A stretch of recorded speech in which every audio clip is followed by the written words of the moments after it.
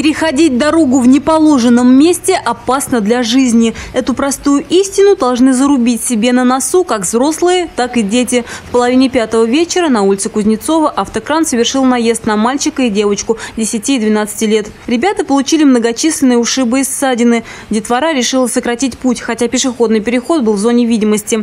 Подобная ситуация на дороге для инспекторов не редкость, особенно в период летних каникул. Только в июне этого года произошло 12 ДТП с участием несовершеннолетних несовершеннолетних. Девочку госпитализировали сразу, быстро мальчику оказывали э, помощь на месте дорожно-транспортного происшествия. Ему наложили шины, обработали раны и далее диагноз будет уточнен э, в лечебном учреждении.